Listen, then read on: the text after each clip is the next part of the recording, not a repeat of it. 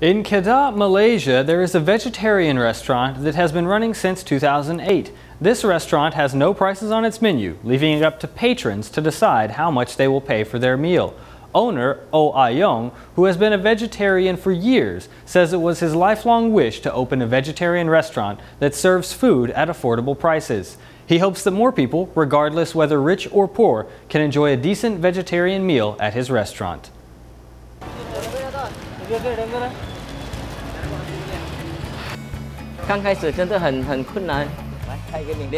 Things were very difficult for us in the beginning. It was challenging, but we took it one step at a time. We purchased whatever vegetables are left. We don't pick and choose. Many people saw how committed we were and donated what they can to help. The rice vendor told us he wanted to contribute rice. Same with cooking oil, soy sauce, etc.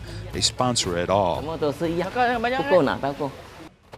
We want to inspire more people to go meatless. It's that simple. This owner is very compassionate. Whenever I come and buy vegetables here, he never charges me a cent. I'm very thankful.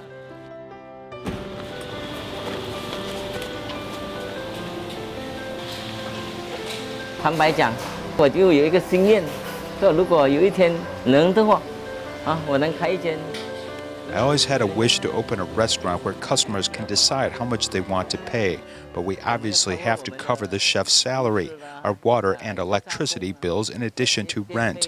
Although we barely have enough to cover all the expenses, we're doing better than before.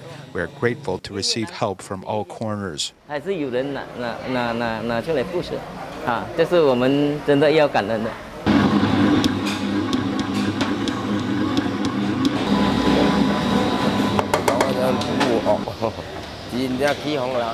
I used to have a bad temper. I was stingy and could never accept other people's advice.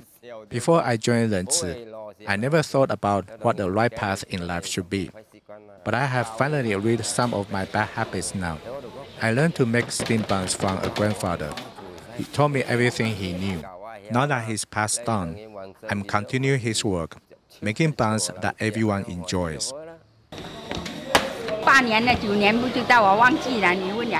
It was eight or nine years. I can't remember. You have to ask Aaron. I like it. I enjoy helping out at Ren Ci. We have a lot to talk and chat about. Even animals have lives like us. The excretion of animals can pollute the environment. We are trying our best, so we believe that we can most definitely inspire more people to come and try our vegetarian food.